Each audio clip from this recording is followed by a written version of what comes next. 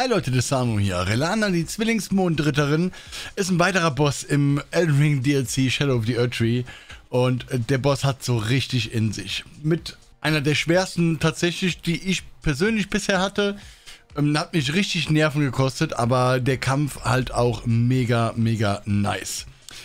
Wenn euch das Video gefällt, lasst mir gerne ein Abo, Like da, schaut gerne auf Twitch und bei uns im Discord vorbei. Und jetzt wünsche ich euch Spaß. Ich habe zwei äh, Tries, ich habe einen, ja doch, zwei Tries wovon einer dann zum Glück funktioniert hat, aber ich habe euch den ersten auch mal äh, reingemacht, wo ihr seht, wie sie mich so äh, richtig zerstört. Ja, also, wie gesagt, vielen Dank fürs Zuschauen und bis zum nächsten Mal. Danke, bye.